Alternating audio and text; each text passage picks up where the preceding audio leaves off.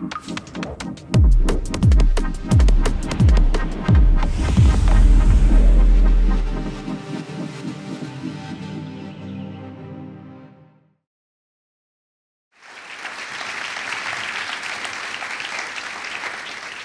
fundamental error in our thinking is that we assume the world is endless. This is not the case. We are living in a full world. Just think about fishing fish.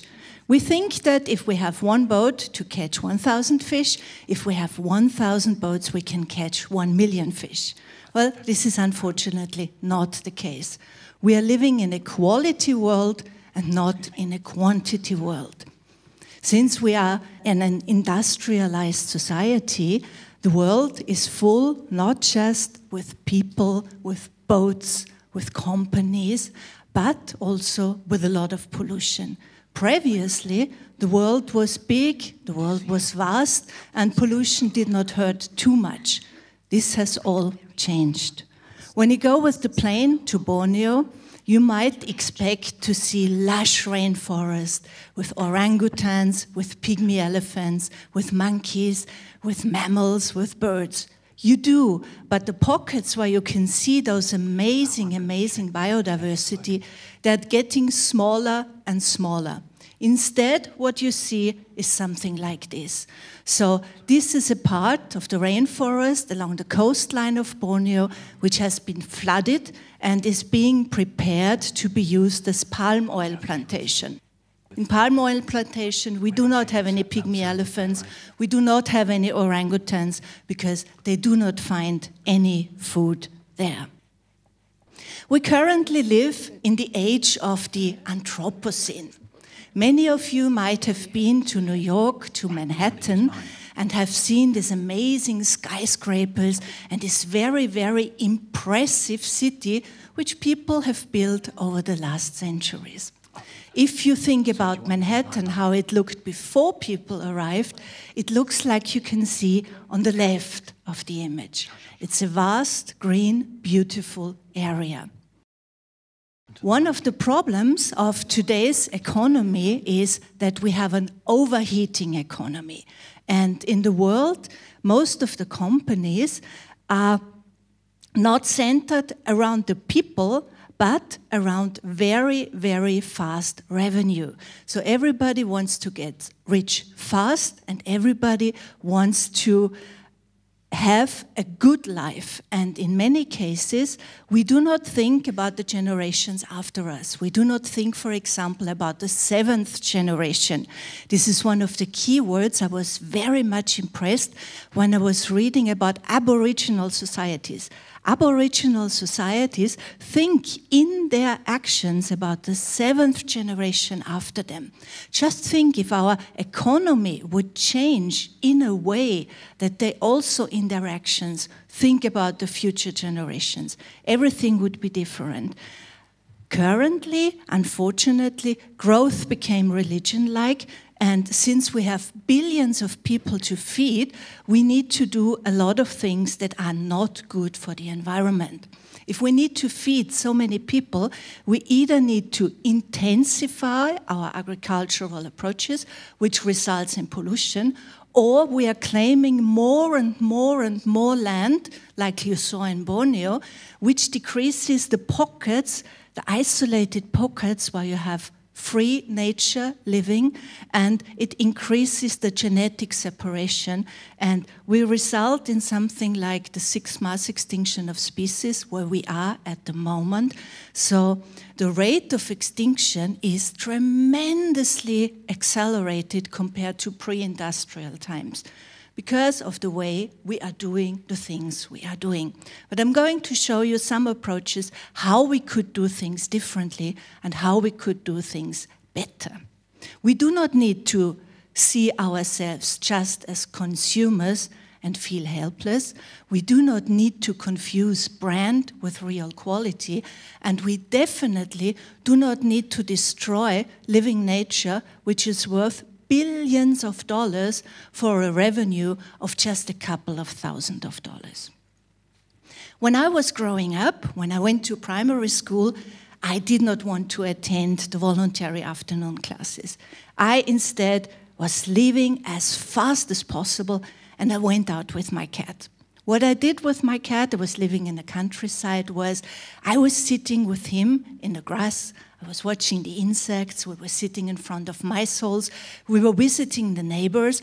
And I was just sitting there while he was waiting for mice to catch and watch the insects and the bees. And it was such an amazing and beautiful world that I connected to this world very, very much. And I decided for my future work, for my future work as a scientist, I'm a physicist, to do something for this environment. And when I do something for the environment, I of course do it for all of us. We all need to change. It's just not acceptable that we have such monocultures where we have one species of plant, or if we have these big, big places where we are breeding the chicken or the cattle. If you have one disease, it spreads like a hurricane through the monocultures and through the animals, and it's very, very dangerous, and it puts us also at risk that we start to starve. And I think if we want to think change, we need to start to be critical. And we can only start critical thinking if we are understanding the principles behind. So, education, good education of the young, keeping them curious, keeping them questioning things is just absolutely, absolutely basic. And one of the ways to either keep people curious or to make them curious again, I found out is to go with them to the outside, to go with them to living nature. I was for seven years living in amazing and beautiful Malaysia, where you have rainforests, where you have many still wild animals like tapirs and many other beauties. And when you go with kids, when you go with the youth, when you go with grown ups to the forest, they change. They start to be curious, they start to look at the things, they start to see the magic in their encounter of living nature, which is beautiful in itself. And actually, there are so many things we can learn from living nature. I just give you one example of one plant. This is a pitcher plant from Borneo. So it's a very slippery surface inside, and you have some juices down inside, which would then, you know, dissolve the insect so that the plant can eat all the nutrients it gets from the insect. So this slippery insect inside is built from wax structures, and we people can use these wax structures for very different, interesting attempts. The first one is we can construct species specific physical pesticides. So normally you think about chemical pesticides. So you are, you know, putting the pesticides on your agricultural field, and then not just the type of insect you want to attack dies, but many, many others. The bees have problems. The people who eat it have problems from the chemicals, and because they are toxic. And you might also protect the agricultural plant which you want to protect. If you use physical pesticides based just on the structure of the wax crystals, which have a specific structure and grow, uh, breakage characteristic, which is adapted to the feet of the insect which wants to eat this specific plant, this insect does not want to crawl over these structures anymore. It does not land anymore. It learns that this plant is not good for it to land. And these wax structures, if they, for example, are made from pitcher plant waxes or from grapes or from plums, are absolute not toxic or poisonous to any other species of insect. They can walk over it without any problem, and we can eat it without any problem. That's one example what we can learn from pitcher plant waxes. The second one is, and this is a very, very sad story, um, every day in Europe, 240,000 birds die because they fly against windows. And they fly against windows because they do not see the windows. And now, birds see ultraviolet light. For example, spider webs are reflecting ultraviolet light. So birds do not fly into spider webs. just imagine, and there is now a big research project going on which is exactly investigating this. Just imagine you're building wax crystals of the specific size that reflects the UV light so that the birds see it and do not fly against it and do not die.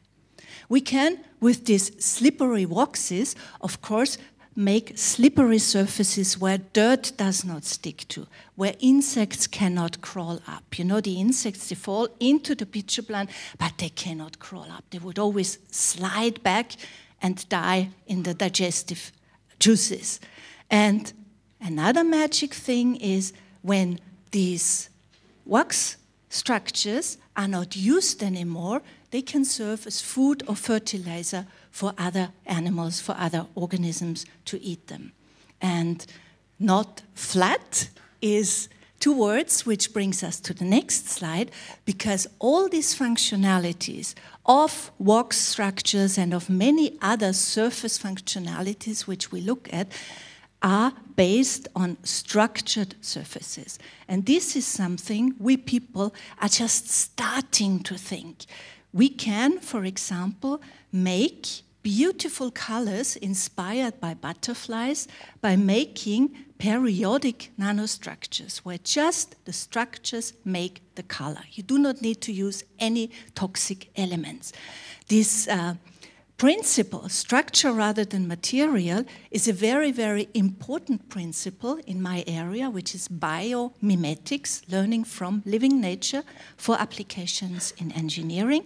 And if we start to think in structures and structures in plants, in animals, in people are just amazing. I put here these uh, structures of this uh, Pinea nobilis, Wollemia nobilis plant from uh, New Caledonia. And I put a scale bar there for you. So this, this white bar here is 1,000 nanometers long, one micrometer long, which means this is just, just uh, one hundredth of the diameter of one of your hairs. So just imagine how small these structures are, and they make functional uh, functional uh, processes on the plant surface. We have integrated functionality in such structures, and again, if we copy, if we learn from living nature for applications in technology, we can also transfer sustainability aspects and aspects that we do not find in most of our current technical approaches. One of my biggest shocks, I have to admit, I ever had in my whole life was when I heard that uncontacted tribes, people who do not want to have contact with civilization, they call us demons. They do not want to have contact with us. They live in the jungle of India, of Malaysia, of uh, the Amazon. They do not want to have contact with us because they think we are destroying the world and we are going on a wrong path. I think we, at the moment, might head in a wrong direction. We are destroying a lot, but I think there is hope. And the hope I see when I go with children, when I go with the youth, when I go with grown ups to the forest, to the outside, when they are starting to reconnect this band of love to living nature, to intensify the band of love to living nature. Because if this is here, everything else will follow. And I think we will be able to develop good technologies and to stop and prevent further catastrophes on this beautiful planet. Thank you. Thank you.